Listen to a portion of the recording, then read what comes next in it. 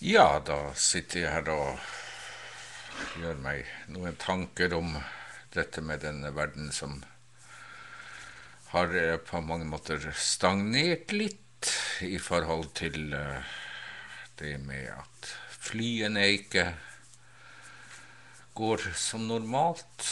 Mange ikke å følge vanlige rutetider, iallfall i Europa.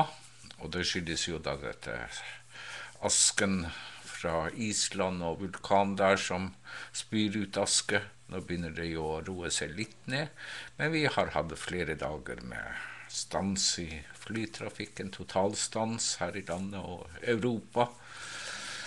Men man prøver å lette litt på mulighetene for at man kan kanskje bli bedre kontroll over hvordan den asken er. Nå er det vel ingen som sier at den ikke er farlig eller kan være farlig. Men eh, det er jo næringsinteresser som presser seg på, og på mange måter også da tvinger fram kanskje bedre løsninger. Det som jeg rent personlig har tenkt litt over, det er jo akkurat det hvor stor grad man har gjort seg avhengig av flytransport. Det gjelder jo ikke minst frakt av mennesker både hit og dit og ikke minst varer og andre ting. Og det skyldes jo nok at det er vel den mest effektive måten å transportere ting på hva gjelder tidsforbruk. Og vi har bygd ut her i landet, ikke minst gjennom post og annen varetransport, at flyfrakt skal være muligheten. Utover det så vil jo det ta langt lengre tid, og vi snakker jo da om ikke timer, men om flere døgn. Nå ser en jo også at mange av de som da har havnet i den situasjonen at de sitter fast pga. at flyene ikke går, de eh, får store problemer og muligheten for alternative reiser, frakttilbud, transportmidler og sånt ser ut som ikke fungerer optimalt, i hvert fall, og kan erstatte flyets plass i samfunnet. Og det er akkurat her jeg med et lite tankekors lurer på om det er uh, riktig at vi skal ha det slik. Eller at man har gjort seg så enormt avhengig. Nå har man sett denne muligheten for total flystans som lite realistisk, men nå ser vi jo det at det lar seg gjøre, og det er naturkreftene som spiller inn. Vi har jo i mange år vært plaga av dette med terrorfrykt og sånt, og ikke minst angrep på fly og sånt. og sånt, ikke fly i den situasjonen at de går i lufta eller blir sprengt, og eller på andre måter gjør at mange forulykker. Og når det gjelder fly og sånn, så er det jo først når det skjer, så kan det ramme veldig mange av alle passasjerene om bord i et fly.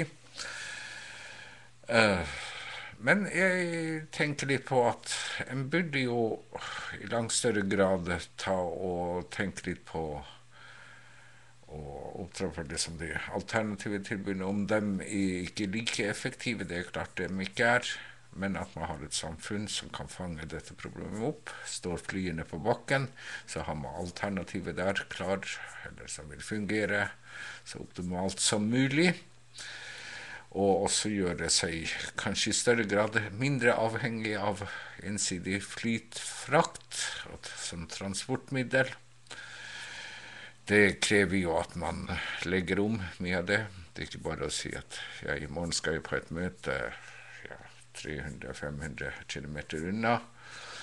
Det må planlegges på en annen måte, og man må bruke båt eller tog eller buss som vel er alternativer til fly.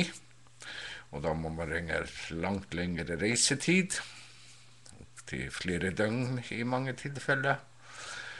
Men det, det, virker for meg som om at dette er noe man bør i hvert fall ta høyde for i framtiden. Nå kan man si at ja, først på denne måten jeg kommuniserer på med mange mennesker, i hvert fall mange mennesker i muligheten for å høre det jeg sitter og prater om. Det er også en ting som kan fort bli rammet, og legge det ned, eller på en måte at det ikke fungerer slik man ønsker, og langt lenger ikke så effektivt. Det er bare et strømbrudd, en trykk på en knapp, så er den muligheten borte. Enten det skjer over kort tid eller på andre måter. Og vår moderne teknologi har vel ikke funnet noen løsning på akkurat det, slik at ting fungerer uavhengig av strøm eller andre ting som skal gjøre at det fungerer, at flyene skal bevege lufta uavhengig om det er vulkaner, brukelig aske eller hva det måtte være. Andre former for naturkatastrofer. Det har jo vi mennesker ikke spesielt maktet å gjøre noe med. Iallfall ikke slik at det gjør at det stopper opp for kortere eller lengre tid. Og vi er vel på mange måter blitt såpass bortskjemte, vi mennesker, at dette slik tror vi at det skal være, og slik skal det fungere. Vi skal jo heller ikke gå mer enn ja, knapt nok 100 år tilbake, ikke det engang, for å minne oss på at hverdagen vår var på en helt måte. Ting tok lengre tid når man skulle bevege seg fra det ene stedet til det andre. og Jo lengre reisen var, eller avstanden var, jo lengre tid tok det. Og det gikk ikke særlig fort. Sånn som her i landet så var det vel først på begynnelsen av 60-tallet at bilen ble mer eller mindre allmannseie. Og nå er vi jo så avhengig av bilen at vi eh, vet knapt hvordan vi skal bruke beina våre. Vi bruker det til fritidssysler og sånt. Men som transportmiddel for å gjøre vårt daglige gjøremål i jobb eller andre ting, så har vi gjort oss nesten helt uavhengig av beina. Og sånn er det jo med kroppslig utfoldelse. Vi har en moderne teknologi som gjør at vi nødt til å løfte hendene våre. Og enda verre blir det men når akkurat den, eh, disse hjelpemidlene ikke fungerer som de skal, eller bryter sammen som følge av at det mangler på strøm eller elektrisitet eller andre ting, så står vi der, og vi må nyttiggjøre oss av mer uh, primitive redskaper for å greie oss. Og det er akkurat det jeg i mange år av stridsbeskjed har brukt å sammenligne med annen verdenskrig eller 20-30-tallet eller for 100 år siden, hvordan det, var, men vi likevel overlevde. Nå gjør jo den muligheten enda vanskeligere i dag, fordi vi har nedbygd de tjenestetilbudene og de mulighetene i så stor grad at vi gjør oss enda mer handlingslammet. Og det kan man jo se med flyene. Vi har gjort oss avhengig av dem. at uh, Står du ved bakken, så sitter vi der. Og lite kan gjøre.